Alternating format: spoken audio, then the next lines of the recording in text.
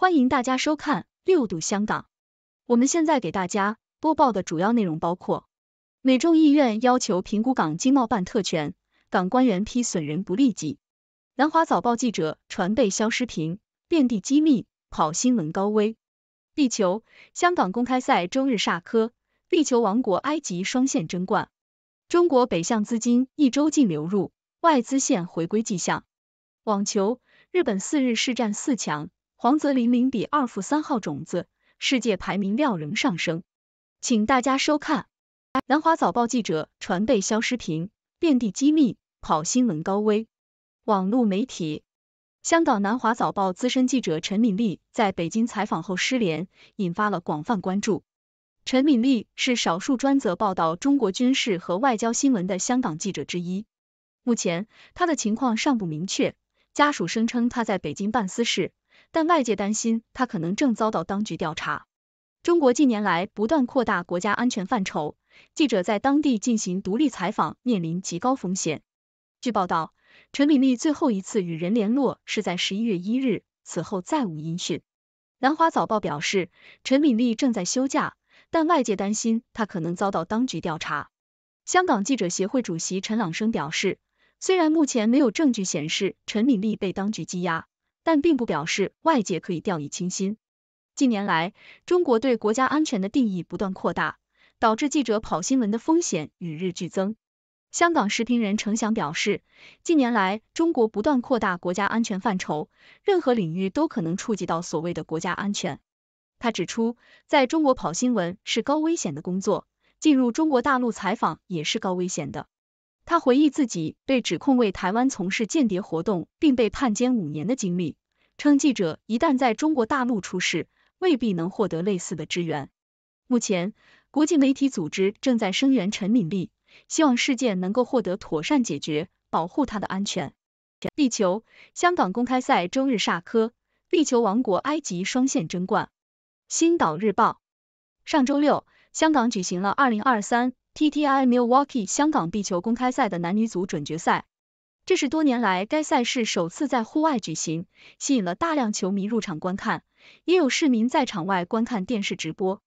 女单比赛中，世界排名第一的埃及选手舒亚宾妮在面对美国选手苏曼达时表现平平，最终以零比三的比分落败。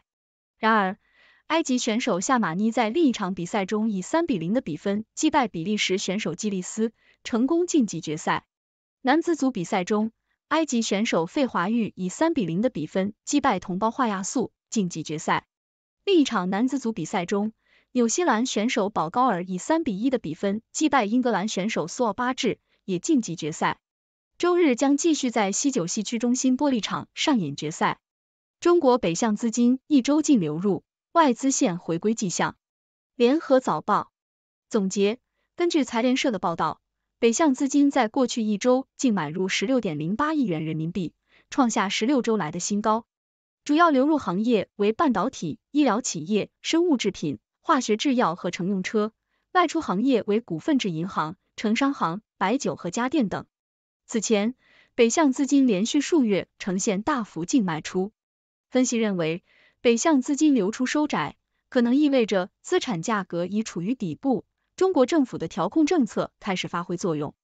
网球，日本四日市战四强，黄泽林零比二负三号种子，世界排名料仍上升。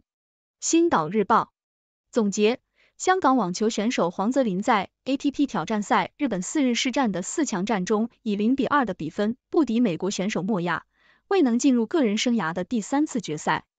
黄泽林在比赛中发球表现不佳，全场只得到了零个 ace。而他的对手莫亚的第一发球得分率高达百分之八十八。尽管在过去的两站比赛中取得了亚军，但黄泽林的世界排名仍然会有所上升。黄泽林将返回香港参加浅水湾俱乐部网球赛，并将参加十二月底至二零二四年初在香港举行的中银香港网球公开赛二零二四。希望他在主场能够取得好成绩。新闻女王三十九岁高君贤登热搜，成国民女婿入行十八年龄走样回流，演技在升华。星岛日报，最近 TVB 台庆剧《新闻女王》中的角色张嘉妍男朋友成为网民热议的焦点。扮演这个角色的高君贤，因为他对女友的包容和支持而被称为国民女婿。他在剧中对女友的任何决定和缺点都百分百包容，给人留下了深刻的印象。他的温柔和稳定的性格引起了众多女网民的共鸣和喜爱。很多女网民表示，希望自己也能找到一个像邵俊乐这样的男人。对于这些反应，高君贤表示感谢大家的支持，并笑称他是张嘉妍男朋友。高君贤曾经在 TVB 工作多年，但事业发展平平。直到二零一四年约满后，他离开 TVB 北上发展，并在内地取得了一定的成就。二零二零年，他决定回港签约邵氏，参演了《白色强人二》和《义舞倾城》等剧集，得到了观众的关注和好评。观众们赞扬他的演技有了大幅度的提升，同时他的外貌也更加成熟稳重。高君贤的暖男形象在剧中深深的吸引了观众，他对女友的包容和支持让很多女网民流口水，网民们纷纷表示希望能找到自己的邵俊乐，并表达了对他的喜爱和羡慕之情。高君贤对此表示感谢，并表示努力是不会错的。他笑称自己是张嘉妍男朋友，展现了他幽默和亲和力的一面。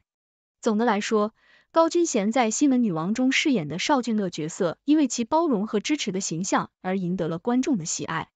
他的温柔和稳定的性格让很多女网民心动，并希望能找到自己的邵俊乐。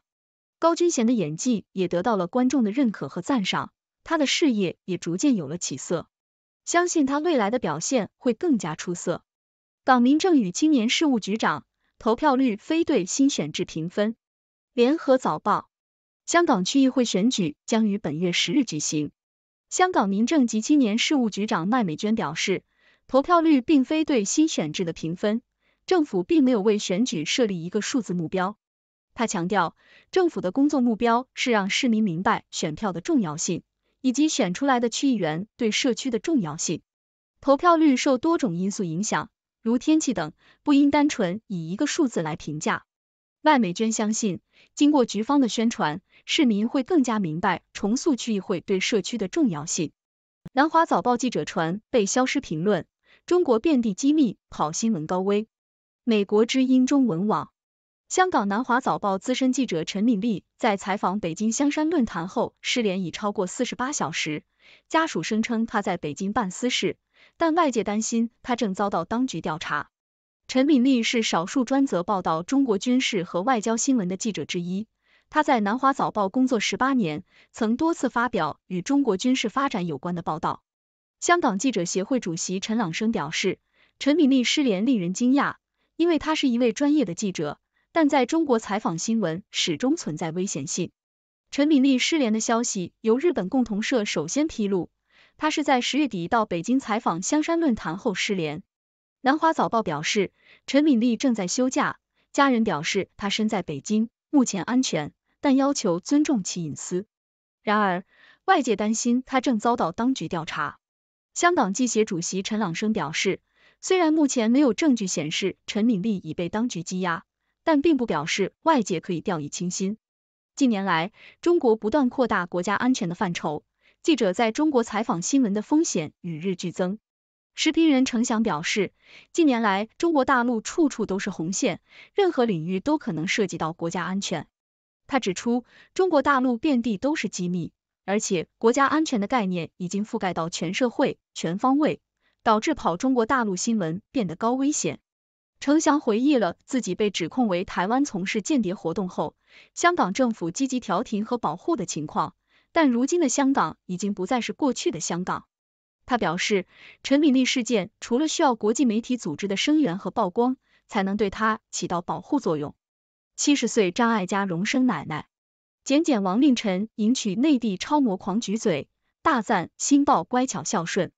星岛日报，中国内地超模尤天意和香港富商王劲雄的儿子王令晨 Oscar 今天在香港举行了盛大的婚礼，婚礼在尖沙咀的一家酒店举行，共有五十席。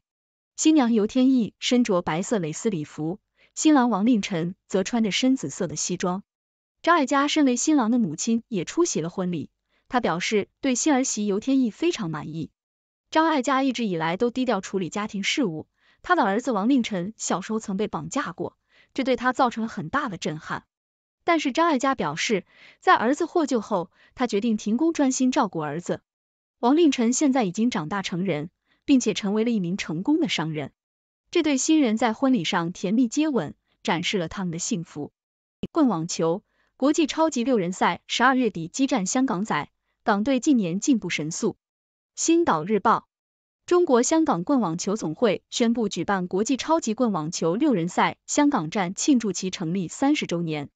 这是一项重要的赛事，因为棍网球六人赛刚刚被选为二零二八洛杉矶奥运会的新增比赛项目。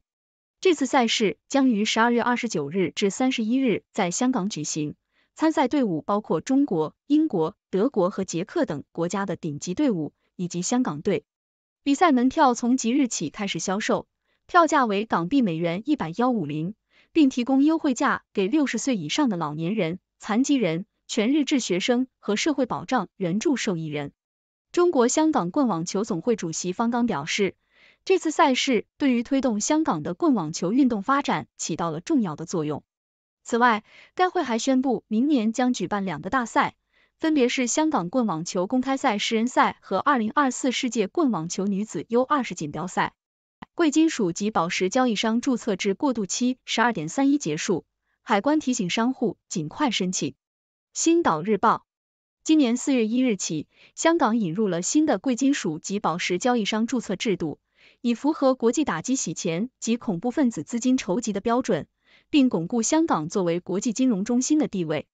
该制度共分为 A 类和 B 类两类注册，交易商需要根据交易金额进行相应的注册。现在距离过渡期结束只剩下一个月的时间，海关呼吁交易商尽快进行注册申请。交易商可以选择邮寄或者亲自递交申请，也可以通过贵金属及宝石交易商注册系统的网页进行在线申请。如果对注册有疑问，可以使用贵金属及宝石交易商 IPASS 网上工具进行解答。目前已有超过五千份注册申请。港一位局长。香港即将迎来上呼吸道感染高峰期。联合早报，香港的流感和其他上呼吸道感染病例预计会在冬季迎来高峰期。中国国家卫健委通报称，中国大陆的呼吸道疾病已进入高发期，而香港与大陆的交流增加，可能导致香港的呼吸道疾病病例激增。然而，香港医务卫生局长表示，每年冬季上呼吸道感染的病例都会上升，不仅仅是中国大陆。全球都面临这个问题，他呼吁市民注意个人卫生，尽早接种疫苗。此外，港大医学院的临床副教授表示，近期中国大陆的上呼吸道感染情况急剧恶化，并且由于香港与大陆来往频繁，这些疾病正在影响香港。香港的公立医院和私家医院的病房已经非常拥挤，肺炎支原体等病例也在急剧增加。党选管会主席。调配逾三万人参与区议会选举工作。联合早报，根据香港选举管理委员会主席陆启康的说法，香港将调动超过三万人参与本次区议会选举工作。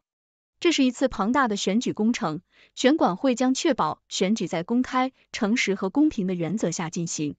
港府全体总动员，为选举进行广泛宣传，希望市民能够支持并参与选举，提升地区治理效能。新一届区议会将专注处理与市民日常生活相关的地区事务，成为市民和政府之间的沟通桥梁。陆启康呼吁选民在投票当日尽量抽时间投票，为社区注入正能量，共同为香港未来的发展出一份力量。陈曼琪狠批美国图谋关闭香港经贸办，以港恶华必自招苦果。星岛日报，陈曼琪认为。美国关闭香港经贸办的举动是想通过经济手段来遏制中国的发展。然而，中国的发展势头强劲，香港作为中国的特别行政区，在一国两制的框架下具有独特的优势。因此，美国的打算不会成功，最终只会伤害自己。中国一定会捍卫自身利益和香港的繁荣稳定，确保一国两制在香港得以顺利实施。美众议院要求评估港经贸办特权。港官员批损人不利己。联合早报，美国众议院通过新法案，要求评估并取消香港经贸办的特权后，香港商务及经济发展局局长邱英化批评此举损人不利己，并呼吁美国政府做出明智决定，避免损害两地经贸关系。他指出，香港与美国的贸易顺差在过去十年内超过两千八百亿美元，目前在香港投资的美国企业也多达一千二百家。邱英化表示，如果两地政府失去官方对口，将影响美国在香港的贸易。他呼吁美国政府做出明智决定，以免影响双方商贸关系。谢谢大家收看以上节目，这是我们的编辑团队为大家搜集整理的，认为有价值的信息观点。但是并不一定代表我们立场，不作为任何行为的建议。欢迎大家为我们的节目点赞，订阅我们的频道，谢谢。